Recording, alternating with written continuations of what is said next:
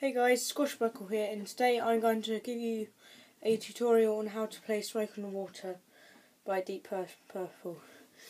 So, for the easy version, what you're going to do, you're going to find the third fret on the top screen, string, and strum that, and then move your finger up to the sixth fret, and strum that again, and then up to eight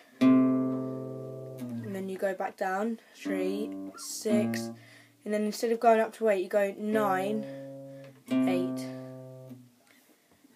and then you repeat it again, three, six, eight, and then you go six, three, oh, one, two, three.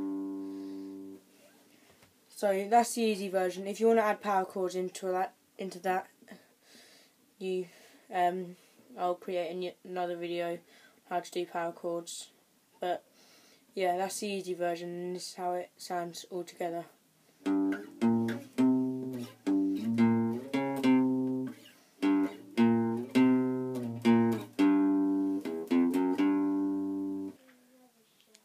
Thank you for watching.